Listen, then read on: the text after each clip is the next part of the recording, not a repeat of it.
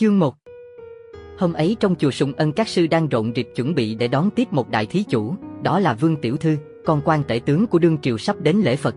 Khắp nơi trong chùa đều được quét dọn sạch sẽ, duy có trên chính điện thì trái lại vị hương đăng trẻ tuổi Ngọc Lâm, có tiếng là chăm chỉ, hôm ấy lại để cho bề bộn, không chịu dọn dẹp. Thường ngày, trên chính điện đèn đến lúc nào cũng sáng trưng, nhưng hôm nay tại sao Ngọc Lâm lại tắt sớm? Trong lư trầm suốt ngày nghi ngút, mà hôm nay thì không một làn khói quyện, chiếu ngồi để lung tung và tàn hương, bụi bậm từ hôm qua vẫn còn yên nguyên không hề bao sái. Thầy Duy Na đi quan sát một lượt, thấy trên chính điện bừa bãi như thế, mới gọi sư bác Hương Đăng Ngọc Lâm bảo dọn dẹp thì Ngọc Lâm chỉ ậm ừ, rồi bỏ đấy. Ai cũng biết Ngọc Lâm là người đệ tử thứ hai của Hòa Thượng Thiên Ẩn, trụ trì chùa Sùng Ân. Vì còn ít tuổi nên Ngọc Lâm có tính hiếu thắng ngạo nghễ, nhưng vì sợ Hòa Thượng trụ trì nên thầy Duy Na cũng làm ngơ không nói.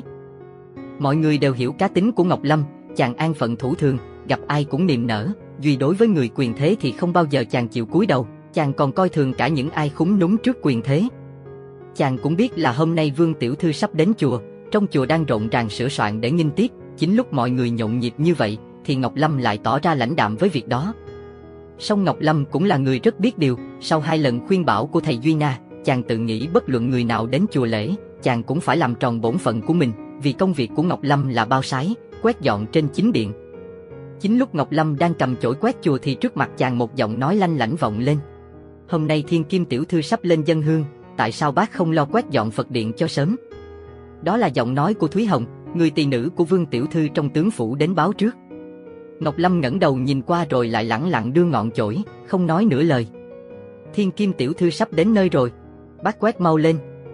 Đứa thị tỳ thấy Ngọc Lâm vẫn cứ đàng hoàng, không tỏ vẻ vội vàng, nó thúc giục. Thiên Kim Tiểu Thư của cô đã vào cái thái gì? Cô có biết tôi đây là một vị vạn kim hòa thượng không? Câu nói của Ngọc Lâm làm cho Thúy Hồng phát tức, hơn nữa, cũng vì câu nói đó mà cuộc đời tu hành của Ngọc Lâm gặp cơn giông tố bão bùng. Hòa thượng, bác cả gan thế kia à? Bác dám khinh thường tiểu thư con vương tể tướng. Tôi hãy mách tiểu thư để xem bác có mấy đâu. Úi cha, cô có thể đem quyền thế dọa nạt người khác chứ không dọa nạt được tôi đâu. Thiên kim tiểu thư nhà cô có khác gì cô? Nàng thường dựa vào thế lực của cha, cũng như cô dựa vào thế lực của nàng, để bắt nạt thiên hạ. Bác không muốn sống nữa hả? Đôi mắt Thúy Hồng tròn xoe, nàng lại dùng lời hống hách hơn để uy hiếp Ngọc Lâm. Sao không muốn sống, tôi không làm gì phạm pháp, ai dám bắt tôi chết. Các người muốn đến chùa thì cứ đến, việc gì phải báo trước, còn quét chùa hay không là việc của hòa thượng, can gì đến các người mà đến đây sai khiến. Song người sắp đến lễ hôm nay là thiên kim tiểu thư, bởi thế tôi có thể sai khiến bác. Người hiện đang cầm chổi quét chùa đây là một vạn kim hòa thượng, bởi thế yêu cầu cô thu hồi mệnh lệnh đó về. Ngọc Lâm vẫn thản nhiên đưa ngọn chổi, Thúy Hồng tức ứ cổ không nói thêm được một câu gì, lập tức trở về tướng phủ, đem chuyện thuật lại cho Vương Tiểu Thư. Dọc đường nàng càng nghĩ càng bực, chân nàng bước dồn, nàng nhớ lại từ khi nàng vào tướng phủ hầu hạ Tiểu Thư, nhờ được Tiểu Thư coi như người thân tín, nên đến đâu ai cũng phải kính nể, không ai dám trái lời. Thế mà hôm nay gặp phải ông sư dám khinh thường đến Tiểu Thư của mình, nếu không nói cho Tiểu Thư biết, thì sau này ông ta còn coi thiên hạ vào đâu. Nàng vừa đi vừa nghĩ lan man, mãi quá nửa giờ sau mới về tới dinh tể tướng, chính lúc đó thì Vương Tiểu Thư đang sắp lên chùa. Thưa cô, Thúy Hồng vừa đi bên cạnh vừa nói, ở chùa Sùng Ân có một ông sư vô lễ quá ạ. À. Con quái, cô cấm mày không được nói xấu các sư. Vương Tiểu Thư tỏ một phong độ khuê môn đại cát.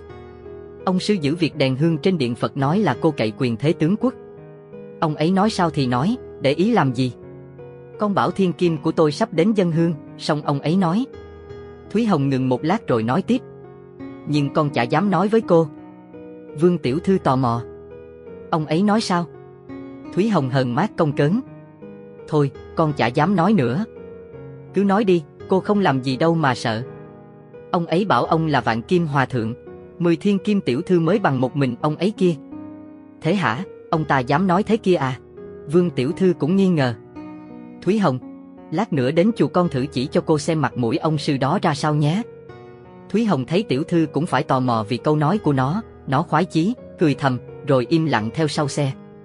Sau khi Vương Tiểu Thư và Thúy Hồng lễ Phật xong, thầy tri khách mời họ xuống phòng khách uống trà. Thôi.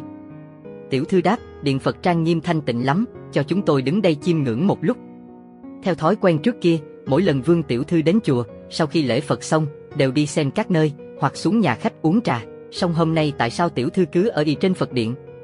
Ngoài Thúy Hồng là người duy nhất hiểu chuyện ra, còn không ai biết hoặc chú ý đến việc ấy cả. Vương Tiểu Thư tự nghĩ, xem vị sư đại ngôn ấy hình thù thế nào mà dám tự xưng là vạn kim hòa thượng, nếu là một vị sư lôi thôi, lết hết thì phải thưa với hòa thượng trụ trì răng bảo vị ấy mới được. Thúy Hồng trong tâm cũng tính toán, vương tướng quốc, phu nhân và tiểu thư đều sùng tín đạo Phật, họ thường đến chùa lễ bái, mà mỗi khi họ đến là mình phải đi báo tin trước, nếu các sư ở chùa này khinh thường lời nói của mình, thì trong tướng phủ còn uy phong gì nữa. Giết gà để dọa khỉ, hôm nay phải xin tiểu thư cho cái ông đại ngôn ấy một bài học để làm gương cho các sư khác, phòng sau này mình đi lại trong chùa không còn ai dám ho he nữa. Thời gian mỗi phút mỗi qua, Vương Tiểu Thư cố đợi chờ, song vẫn không thấy bóng dáng Ngọc Lâm xuất hiện. Vương Tiểu Thư gọi Thúy Hồng đến bên.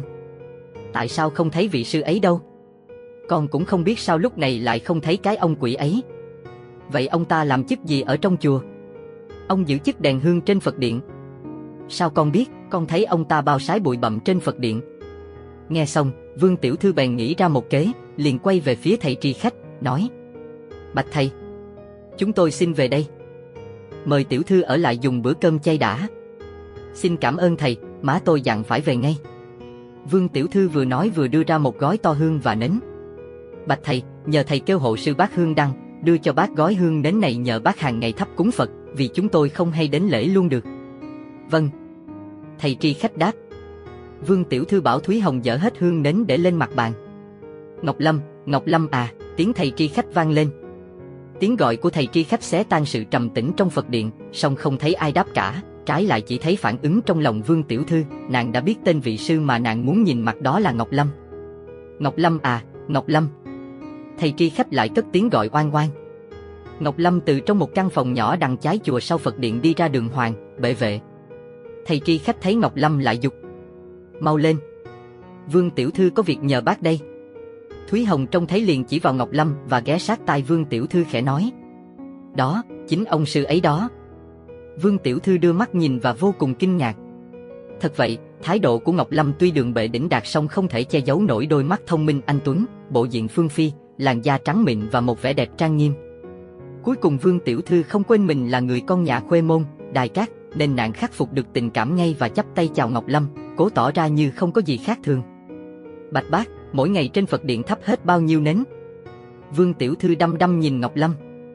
Hết ba ký, Ngọc Lâm khẽ trả lời, thế còn hương, thấp hết lại thấp không có tính. Ngọc Lâm nói nhát gừng. Trong chùa có tất cả bao nhiêu các sư? Cô hỏi thầy tri khách, tôi không biết. Ngọc Lâm vừa nói vừa chỉ vào thầy tri khách đang đứng bên cạnh. Có 428 vị. Thầy tri khách đáp như đã thuộc lòng. Pho tượng chính giữa kia có phải là tượng Đức giáo chủ thích ca không? Vương Tiểu Thư vẫn cứ hỏi Ngọc Lâm. Bạch thầy tri khách ạ. À. Ngọc Lâm lại nhờ thầy tri khách đáp hộ. Thưa phải, đó là tượng Đức Phật Thích Ca Mâu Ni. Thầy tri khách đưa tay chỉ vào pho tượng. Vương Tiểu Thư thấy hỏi mãi không tiện, liền trao hương nến cho Ngọc Lâm rồi cáo từ. Thúy Hồng thấy Tiểu sắp ra về, nó đưa mắt nhìn Tiểu Thư xong nàng chỉ mỉm cười và giả vờ như không biết. Thầy tri khách có mời Tiểu Thư lưu lại dùng cơm một lần nữa, nhưng nàng nhất định về nên thầy tiễn chân nàng ra khỏi cổng chùa. Trên đường về, mặc dầu cô Thúy Hồng theo bên cạnh xe, song Vương Tiểu Thư không nói một câu gì. Cõi lòng nàng hoàn toàn đã bị hình ảnh của một người nào ngự trị. Thúy Hồng oán ngầm Vương Tiểu Thư sao không khiển trách Ngọc Lâm để nàng cũng có cơ hội phụ họa để trả thù. Thúy Hồng bưng vào một tách trà. Thưa cô, cô có vẻ mệt lắm. Cô cũng cảm thấy thế.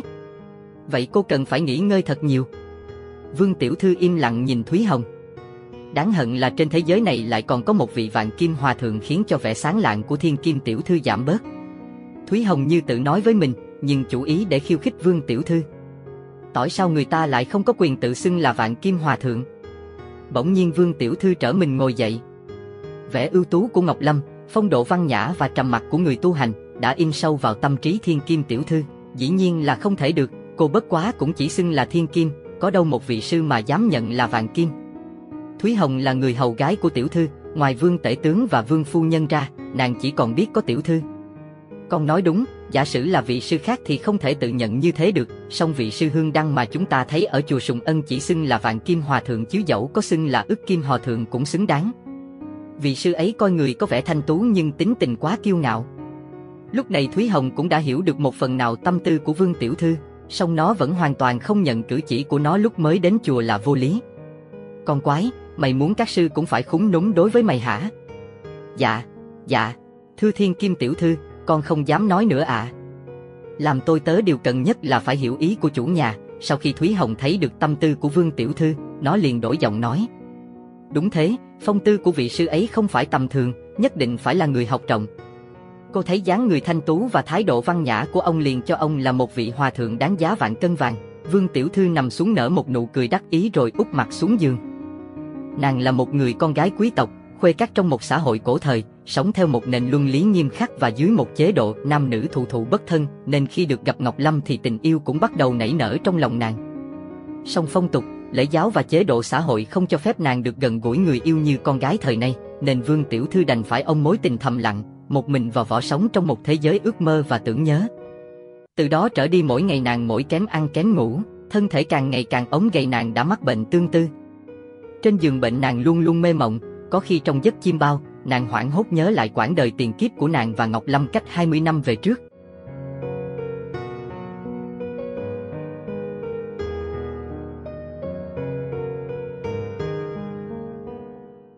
Chương 2 Đây là mẫu đời tiền kiếp, cách 20 hoặc 30 năm về trước.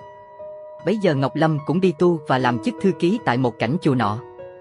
Vương Tiểu Thư lúc đó là con gái của một nhà hào phú, cả gia đình nàng đều là tín đồ thuần thành của Phật giáo. Cha nàng không may mất sớm. Mẹ nàng lên chùa xin tụng kinh lễ bái trong 7 ngày để cầu nguyện cho vong hồn người quá cố được siêu sinh tịnh độ. Nàng cũng theo mẹ nàng lên chùa. Khi đến cửa chùa nàng thấy hai con sư tử bằng đá đứng một cách uy nghiêm, hùng vĩ, tiến vào trong.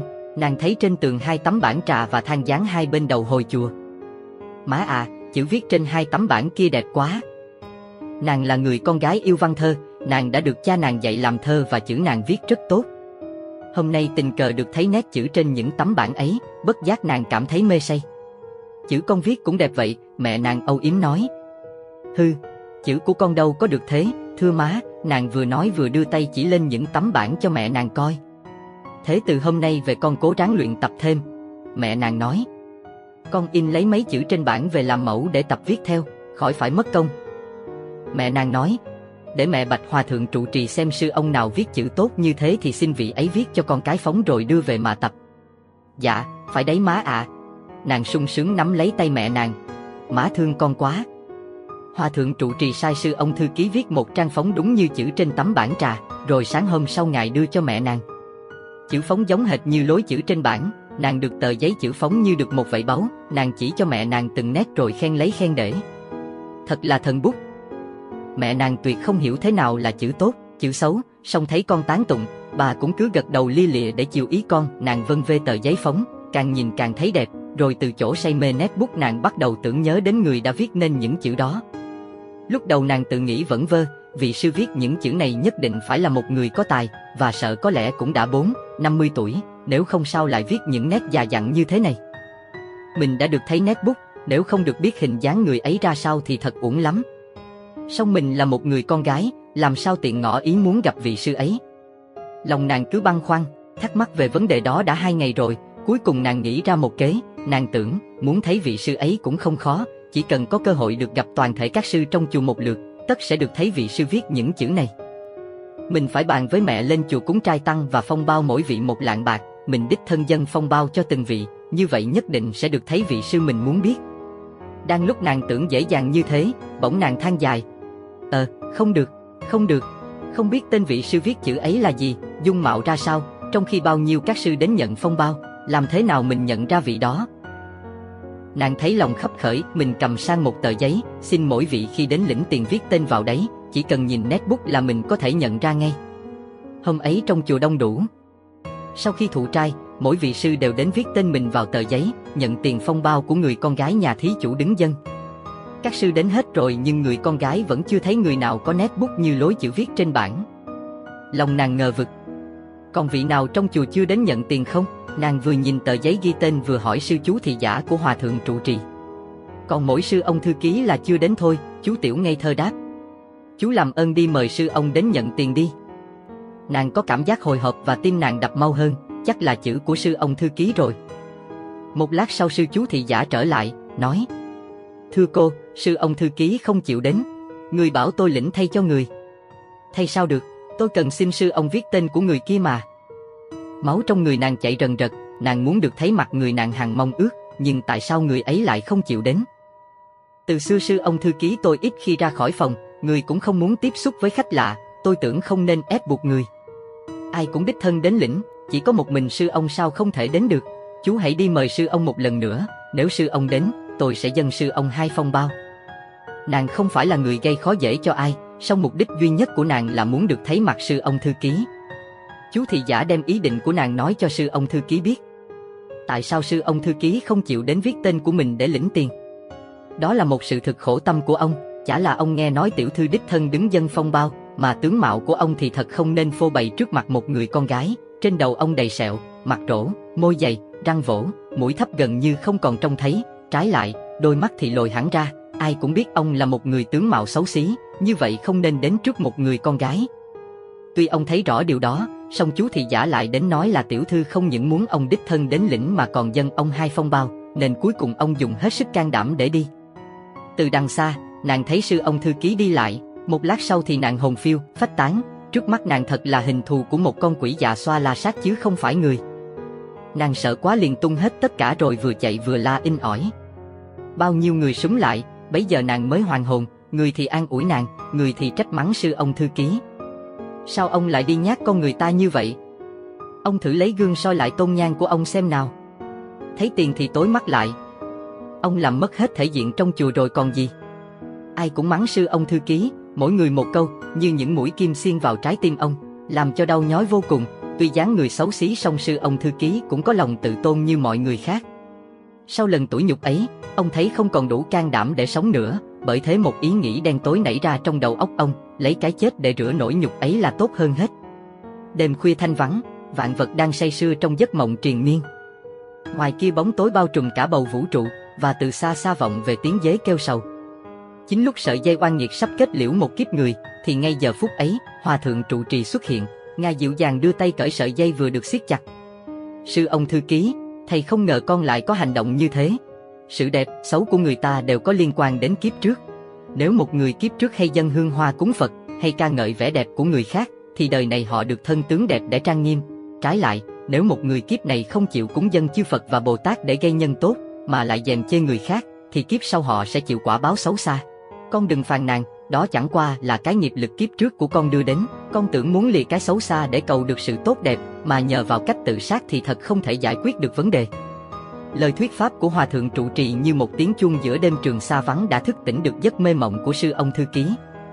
Bạch Hòa Thượng, Hòa Thượng rủ lòng thương chỉ dạy con đã thấy rõ sự ngu muội của con, song con là người xấu xí như thế này, làm cho ai trông thấy cũng ghê sợ, cũng phiền muộn còn ít lợi gì mà sống nữa.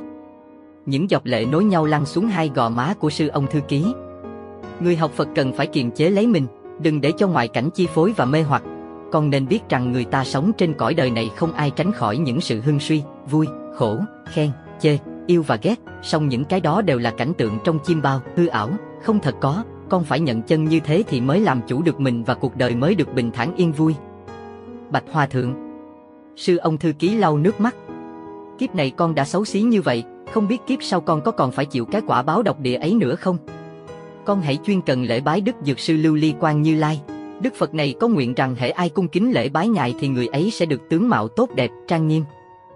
Vâng theo lời chỉ dạy của Hòa Thượng trụ trì, từ đấy trở đi, sư ông thư ký đêm ngày kính cẩn tinh thành trước tượng Phật Dược Sư Lưu Ly Quang Như Lai dân hương lễ bái. Kiếp trước Ngọc Lâm chính là sư ông thư ký có thân hình xấu xí như vậy, nhưng nhờ công đức cung kính lễ bái Đức Phật Dược Sư mà kiếp này được dung nhan đẹp đẽ, mặt như vừng trăng thu và thân như ngọc lưu ly chói rạng. Còn tiền thân của Vương Tiểu Thư chính là người con gái yêu chữ đẹp, tuy nàng tin Phật, biết gây công đức xong chỉ cầu phúc báo ở cõi người và cõi trời, cho nên sau khi chết được sinh làm con quan tể tướng đại thần. Chàng vì em mà chịu tủi nhục, vì em mà toan tự sát, lại cũng vì em mà chuyên cầu lễ bái Phật Dược Sư để cầu cho được cái thân sáng chói như ngọc lưu ly ngày nay. Chàng là một người đáng yêu, đáng kính lắm, em nguyện mãi mãi được sống bên chàng. Sau khi mê mộng, Vương Tiểu Thư cứ sản sốt và lãm nhảm nói những câu như thế. Hình ảnh của Ngọc Lâm thân như Ngọc Lưu Ly, mặt như trăng mùa thu, đã in sâu vào trí óc nàng, mỗi khi nàng mê sản thì hình ảnh ấy lại chập chờn hiện ra trước mắt nàng.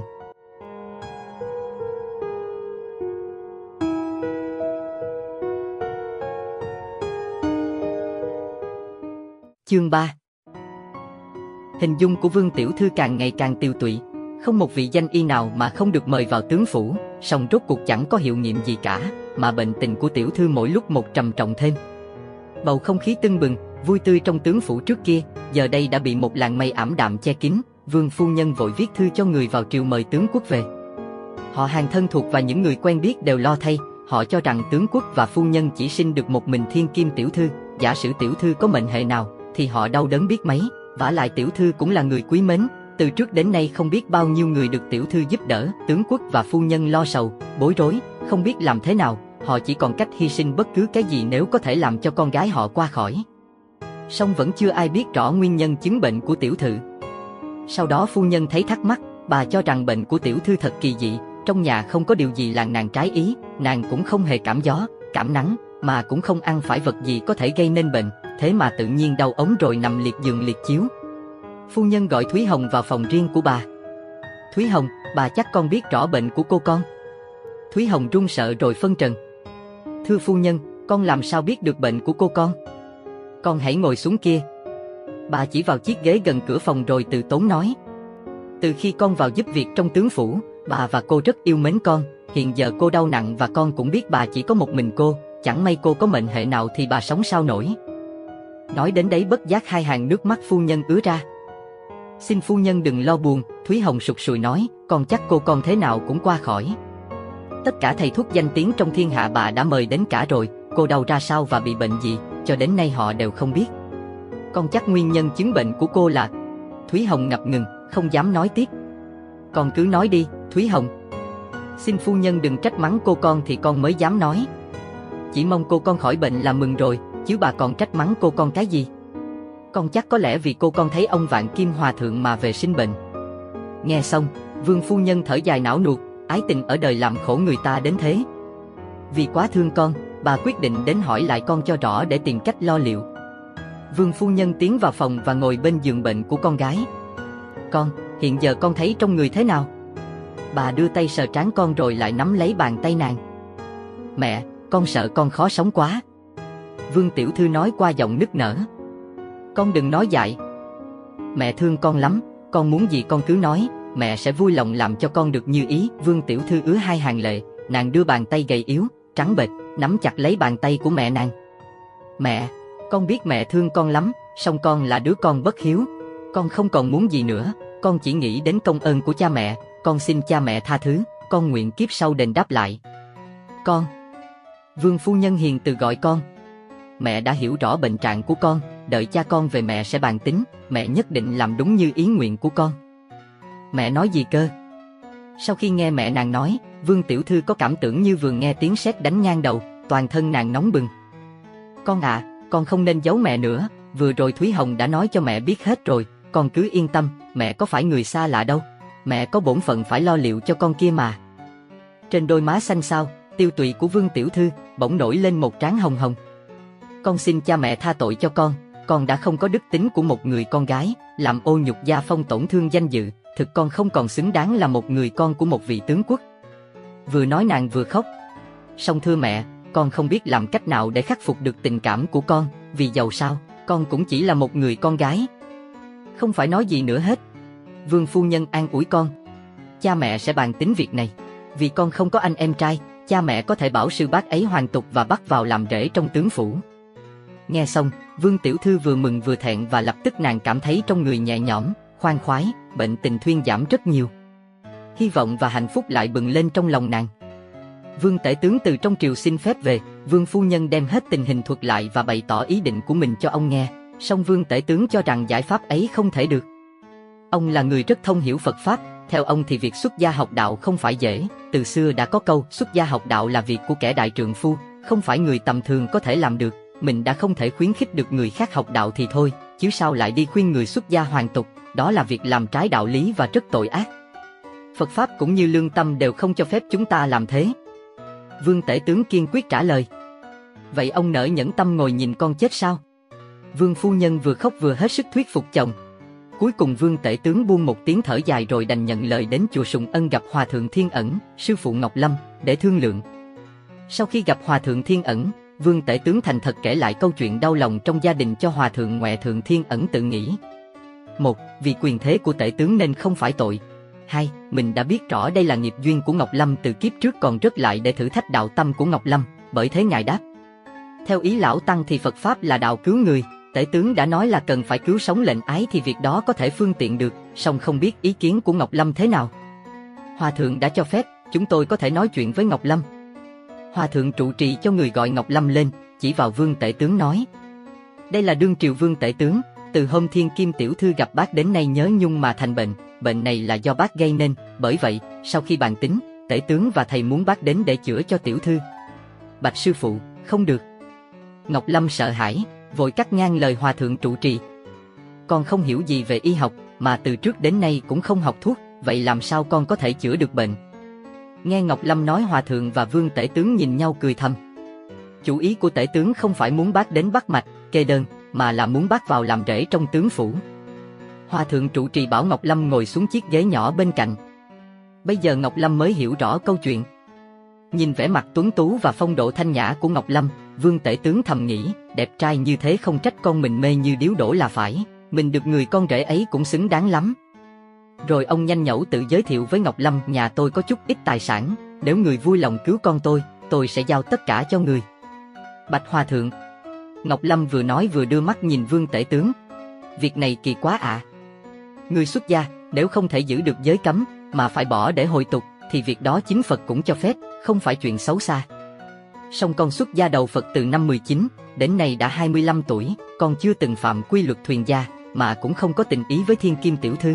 Nay lại bảo con bỏ giới để hồi tục, thì ngay từ lúc đầu con xuất gia làm gì? Vả nửa sự sống, chết và tất cả khổ não của kiếp người đều do lòng ái dục mà có, con vì sợ đắm chìm trong bể sinh tử, ái dục, nên mới bỏ cả cha mẹ, họ hàng, quê hương, bè bạn đến nương nhờ dưới bóng Phật đài, gần gũi hòa thượng để cầu học, tại sao bây giờ lại bắt con bỏ con đường sáng sủa, bằng thẳng, để trở về con đường tối tăm, khúc khuỷu, thì làm thế nào một ngày kia con vượt qua được bể khổ sinh tử? Vương Tể Tướng và Hòa Thượng Thiên ẩn tỏ vẻ cảm phục vô cùng. Bạch Hòa Thượng Ngọc Lâm nói tiếp, con xuất gia học đạo không phải để cầu sự sung sướng, vui thú tạm bợ của kiếp người, và cũng không phải vì cuộc sống nhàn tản vô tư. Hòa Thượng đã từng dạy chúng con là một khi mất cái thân này rồi thì muôn kiếp khó được sinh lại, vậy chúng con không nên sống cuộc đời vô vị cho qua ngày đoạn tháng để lúng phí một kiếp. Đại đa số người đời chỉ lăn lộn trong vòng tài sắc, danh lợi, họ không bao giờ nghĩ đến con đường chung cùng của họ sẽ đi đến đâu. Xin Hòa Thượng và Vương Tể Tướng nghĩ lại cho con cũng như mọi người đều được giải thoát yên vui, song vì cứu người nên Phật Pháp cũng cho phương tiện. Vương Tể Tướng tuy rất khâm phục nhân cách của Ngọc Lâm, nhưng nghĩ đến con đang mê man trên giường bệnh và đôi mắt đẫm lệ của phu nhân, ông bất đắc dĩ phải bày tỏ quan điểm của mình. Ngọc Lâm sửa lại cổ áo và giọng nói nặng nề. Tuy nói thì như thế, song trên thực tế, nếu làm ra, danh dự của Phật giáo cũng như gia phong trong quý phủ, đứng về phương diện phong tục tập quán mà xét, đều bị tổn thương. Vậy tốt hơn đừng để vấn đề cá nhân làm mất ảnh hưởng của đại thể, song Vương Tể Tướng là người rất thâm hiểu giáo lý nhà Phật. Tâm tốt thì có kết quả tốt, Bồ Tát cứu người không màng đến sự khen, chê của thế gian. Ngọc Lâm, lời Tể Tướng nói rất đúng, con hãy bằng lòng đi. Hòa Thượng Thiên ẩn lại chêm vào một câu. Lòng Ngọc Lâm hoang mang, bao nhiêu tư tưởng bời bời trong đầu óc chàng. Chàng tự nghĩ, xưa nay Hòa Thượng là người coi việc giữ giới hơn cả tính mệnh, tại sao hôm nay lại dễ dãi như thế? Nếu bảo sợ uy quyền của vương tể tướng thì không đúng, vì từ trước đến giờ Hòa Thượng vốn không sợ người quyền thế, còn ham tiền tài cũng không phải, vì Hòa Thượng có tiền cũng cho người khác chứ có giữ đâu. Có lẽ vì nghiệp chướng mình nặng nề, hay mình kém phúc, không xứng đáng sống trong cảnh thanh tịnh trang nghiêm. Chao ôi, sao mình lại gặp ma nạn như thế này? Ngọc Lâm than thầm. Ngọc Lâm. Hòa thượng thiên ẩn cắt đứt dòng tư tưởng lan man của chàng. Tinh thần lợi tha của Bồ Tát không phải xa lánh chúng sinh, mà là tùy duyên hóa hiện để cứu độ chúng sinh, đó mới là chân tinh thần của Bồ Tát, sao con cứ bo bo ông lấy khí phách hẹp hòi như vậy? Những lời thuyết pháp của Hòa thượng trụ trì bỗng khiến Ngọc Lâm thức tỉnh, chàng trầm tư một lát, định tâm lại, rồi thản nhiên nói. Hòa thượng đã dạy thế, con cũng xin một việc. Việc gì? Nếu Vương Tiểu Thư theo điều kiện của con, con sẽ bằng lòng ngay, bằng không, đã chẳng cứu được người có khi lại bị người lôi cuốn. Vương Tể Tướng mừng thầm. Xin người cứ nói, chỉ mong người nhận lời, còn bất cứ điều kiện nào chúng tôi cũng xin theo. Điều kiện của tôi giản dị lắm, nghĩa là, phàm việc gì tiểu thư cũng phải theo tôi, tôi bảo thế nào phải vâng như vậy. Ngọc Lâm Hùng Dũng đưa điều kiện của mình nói với Vương Tể Tướng. Phu sướng, phụ tùy, cổ nhân đã dạy như thế, điều kiện của người rất hợp tình hợp ý, tôi có thể thay cho con tôi để thừa nhận. Cũng cần tôn trọng sự tự do của tiểu thư, phải tự lệnh ái thừa nhận mới được. Lúc ấy, lời nói, thái độ và âm thanh của Ngọc Lâm đúng như một người trung niên đã lão luyện và từng trải việc đời. Vương Tể Tướng cho ý kiến Ngọc Lâm rất đúng, ông gật gù khen thầm, không ngờ người thanh niên tu hành, mà hiểu rõ sự lý như vậy, nói câu nào cũng như đinh đóng cột. Ông có cảm tưởng cho rằng mình được người con rể có kiến thức như thế cũng đáng mừng cho dòng họ Vương, và con mình cũng có một người chồng trẻ tuổi, tuấn tú và có tài, thì chắc sung sướng trọn đời. Hòa thượng còn điều gì chỉ giáo thêm? Vương Tể Tướng hỏi Hòa thượng Thiên Ẩn. Thưa không còn điều gì. Vậy tôi xin cứu, tôi sẽ cho người đến trả lời ngay, song tôi có thể bảo đảm là nhất định con tôi sẽ chấp thuận điều kiện đó.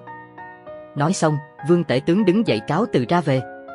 Không bao lâu, Vương Tể Tướng cho người đến nói là Vương Tiểu Thư đã tự mình chấp nhận điều kiện của Ngọc Lâm. Tin ấy như một vết dầu loan truyền khắp trong chùa. Những người thiển kiến thấy hoàn cảnh của Ngọc Lâm mà thèm, vì họ cho rằng chàng sẽ sống trong cảnh vinh hoa phú quý, không còn phải buồn lo việc gì, còn những người tương đối có tâm tu học thì hối tiếc vô cùng, vì theo họ thì viên ngọc trong sáng từ đây sẽ trở nên nhơ nhớp, lắm lát. Ngọc Lâm là người Giang Tô, thân phụ chàng họ Dương, chàng rất có hiếu với cha mẹ, song nhất đáng khẩn cầu cha mẹ cho phép xuất gia học đạo. Nghe tin ai cũng sửng sốt, không ngờ một người thanh niên tự nguyện xuất gia, mà nay lại bỏ giới cấm để trở về với tục lụy. Nhưng không một ai biết trong lòng Ngọc Lâm đang toan tính những gì.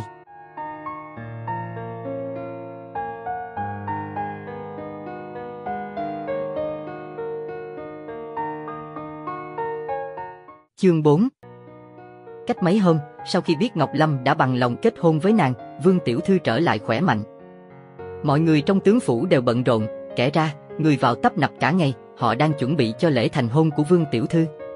Ngày cưới rễ đã đến, Ngọc Lâm vào từ biệt Hòa Thượng Thiên Ẩn.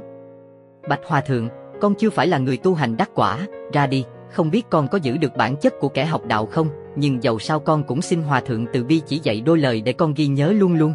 Còn chiếc đèn hương trên điện Phật, xin Hòa Thượng tạm cử người thay con trong hai hôm, sau đó hãy quyết định. Vậy giờ xin Hòa Thượng có điều gì chỉ dạy? Sau khi hiểu rõ ý câu nói của Ngọc Lâm, Hòa Thượng Thiên ẩn gật gù, nói Chuyến đi này là vì làm rạng tỏ cho đạo, quý lắm, quý lắm. Ngọc Lâm không nói gì nữa, chàng từ biệt sư phụ rồi bước ra đi. Lúc đó những người phù rể trong tướng phủ phái ra đón rước cũng đã đến. Ngọc Lâm đỡ lấy bộ áo lộng lẫy của tướng phủ mặc vào, chàng cởi bỏ chiếc áo tu hành lam lũ ra rồi từ từ gấp lại thật vuông vắn và tỏ vẻ luyến tiếc. Những người trong tướng phủ thấy thế tủm tỉm cười, họ cho rằng chàng rể quá keo kiệt, bao nhiêu thứ trân bảo ngọc ngà đang chờ đón chàng kia rồi, mà còn cứ mân mê thương tiếc mãi manh áo nâu cũ mềm, rõ thật lẫn thẩn. Song họ đâu có biết Ngọc Lâm coi chiếc áo ấy như một của báu vô giá. Trên đường về tướng phủ, Ngọc Lâm ngồi trong xe suy nghĩ, những dòng tư tưởng lại cuồn cuộn nổi lên, chàng luôn luôn nghĩ đến câu sư phụ nói lúc ra đi, chuyến đi này là vì làm rạng tỏ cho đạo, đó là một việc thiên liêng vinh diệu. Trong lòng chàng đã lập chí kiên quyết, chàng tự nhận mình là người có sứ mạng làm rạng tỏ cho đạo, chàng quyết không để cho sắc đẹp và vàng bạc lung lạc, cám dỗ. Song Ngọc Lâm cũng cảm thấy việc đó hết sức khó khăn, tuy tha thiết với đạo nhưng chàng vẫn là con người, nhất lại là thanh niên, trước sắc đẹp và tiền tài liệu chàng có khống chế nổi tình cảm không? Liệu có khỏi vẻ hổ đã chẳng thành lại hóa ra chó? Hơn nữa còn tình người, tuy vương tiểu thư si tình song giàu sau nàng cũng vì chàng mà thành bệnh, ngoài chàng ra, liệu có phương pháp gì cứu thoát? Cho nên chàng có cảm giác áo não, nhưng còn nhớ câu nói của hòa thượng trụ trì để tăng cường lòng tự tin của chàng. Hôm ấy trong tướng phủ tưng bừng nhộn nhịp, Vương Tể Tướng cũng biết rằng cưới một vị sư về làm rể là một việc khó coi, không hợp tình lý, cho nên ngoài một số họ hàng và bạn bè chí thiết ra, ông không cho mời ai và cũng không muốn phô trương đám cưới cho Linh Đình. Sau lễ thành hôn, cặp vợ chồng mới cưới được đưa đến động phòng, tân khách cũng dần dần ra về, sau một hồi huyên náo. Ngọc Lâm ngẩng đầu nhìn Vương Tiểu Thư đang ngồi bên cạnh giường, yêu kiều, diễm lệ, tưởng đâu một nàng tiên giáng trần, bất giác Ngọc Lâm cũng phải ngây ngất cảm thán trong lòng, ghê gớm thay nữ sắc. Ngọc Lâm lấy lại bình tĩnh và lòng nói với lòng, tiểu thư, nét mặt như bông hoa phù dung của nàng chẳng qua cũng chỉ là một khối thịt xương, vẻ yêu kiều, diễm lệ của nàng chỉ là một lợi khí giết người mà thôi. Lúc đó lòng chàng phẳng lặng như mặt biển dưới ánh chiêu dương sau một đêm sóng gió.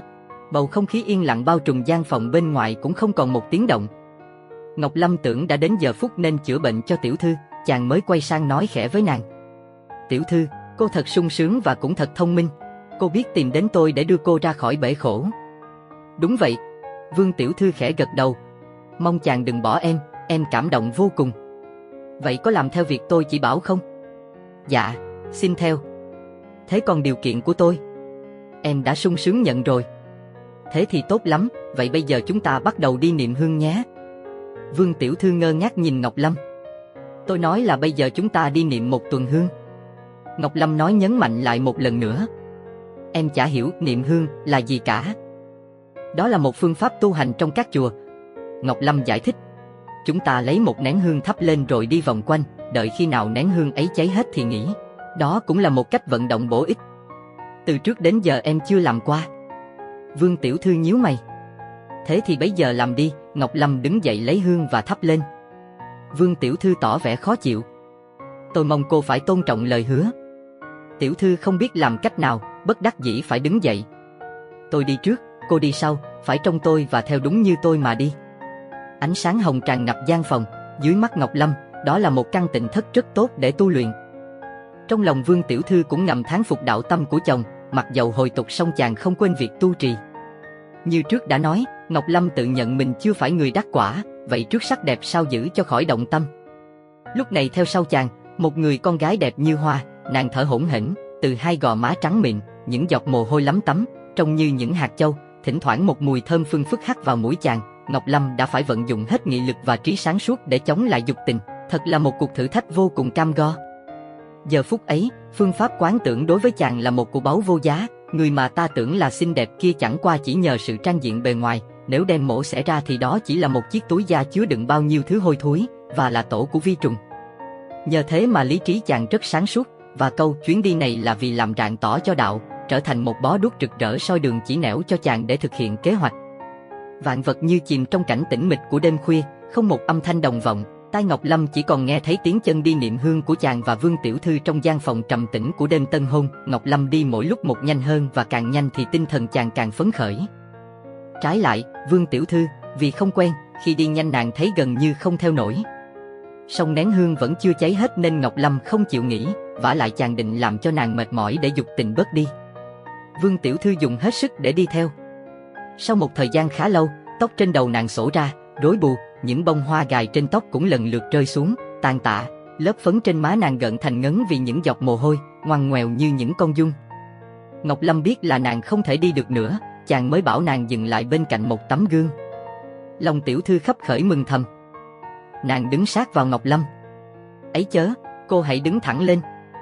Vừa nói Ngọc Lâm vừa đưa tay đỡ thân hình mềm mại, ẻo lả của Vương Tiểu Thư định ngã vào người chàng. Nàng miễn cưỡng đứng thẳng lại. Cô xem tôi có đẹp không? Ngọc Lâm hỏi. Dĩ nhiên là chàng đẹp rồi. Giọng Tiểu Thư nũng nịu và nàng mỉm cười duyên.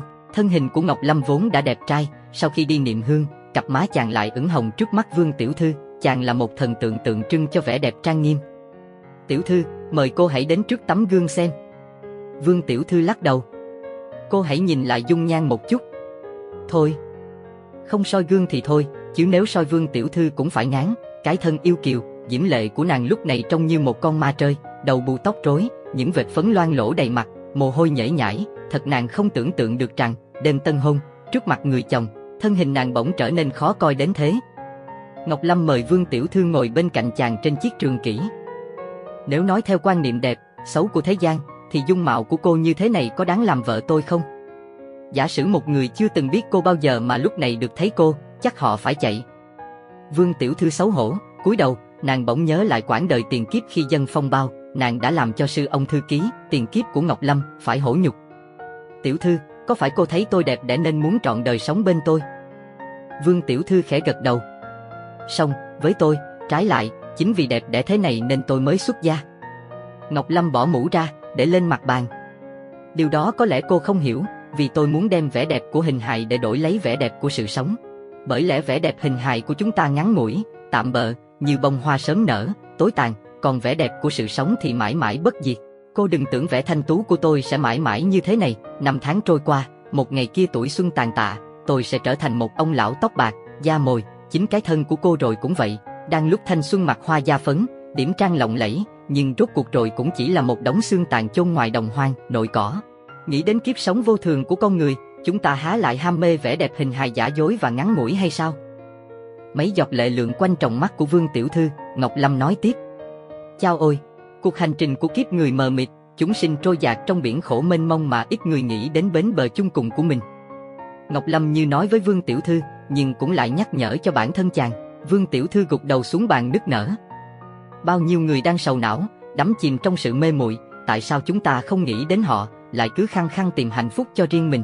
Tôi vì muốn thoát vòng tục lụy và vì chân hạnh phúc của mọi người, mới xuất gia học đạo, mong vượt qua bể khổ sinh tử, không ngờ kiếp trước đã có duyên nghiệp với cô, nay phải bỏ giới, hồi tục, thế là cô muốn tôi phải chìm đắm mãi trong vòng luân hồi. Chàng, chàng đừng nói nữa, em đau lòng lắm rồi. Vương Tiểu Thư có vẻ đau đớn, chặn ngang lời Ngọc Lâm. Tôi thấy chúng ta đắm đuối như thế này, há không đau lòng thật hay sao? Em đã biết rõ sự ngu si của em rồi, em không nên ràng buộc chàng, không nên hại chàng, không nên ép chàng hồi tục, sáng mai chàng hãy trở về chùa tiếp tục tu học. Vương Tiểu Thư vừa nói vừa lau nước mắt, tỏ ra cương quyết, không còn một chút nhi nữ thường tình trong thái độ của nàng. Xong, tôi yêu tất cả mọi người, tôi cũng yêu cô tha thiết, tôi không nỡ thấy cô phải khổ. Vương Tiểu Thư quá xúc động, bất giác những giọt lệ lại từ từ lăn xuống hai gò mà nhợt nhạt của nàng. Lúc này nàng thấy Ngọc Lâm không phải người con trai có thân hình đẹp làm nàng mê say, mà nàng có cảm tưởng chàng là một vị hiện thân Bồ Tát, từ bi, thanh tịnh. Ngọc Lâm Không, thầy. Xin thầy đừng lo. Vương Tiểu Thư nắm chặt lấy tay Ngọc Lâm. Tôi đã hiểu mình phải tìm cách vượt ra ngoài hố sâu của khổ đau rồi, tôi rất kính phục thầy, nhân cách và tình thương của thầy đã làm tôi cảm động, giờ đây tôi chỉ thấy thầy là người cao cả, siêu việt. Tôi đã phạm một tội lớn, đã cản trở bước tu tiến của thầy, xin thầy tha thứ, nếu thầy vẫn thương tôi, xin thầy hãy chỉ cho con đường nên đi, để tôi cũng được siêu thoát. Tôi sợ cô chưa bỏ được sự sung sướng giả tạm ở thế gian. Tôi xin hứa trước mặt thầy, thầy hãy tin tôi. Sao đừng hối hận? Quyết không bao giờ hối tiếc. Vậy tôi khuyên cô cũng nên xuất gia tu học. Sau khi suy nghĩ một lát, Vương Tiểu Thư nói một cách quả quyết. Vâng, tôi xin tuân theo lời chỉ dạy của thầy. Mai tôi sẽ bẩm với cha mẹ tôi, tôi chắc người cũng sẽ vui lòng. Ngọc Lâm rút tay mình ra khỏi bàn tay của Vương Tiểu Thư, trên môi nở một nụ cười khoan khoái, hiền từ. Từ phía đông, vườn hồng cũng bắt đầu ló dạng,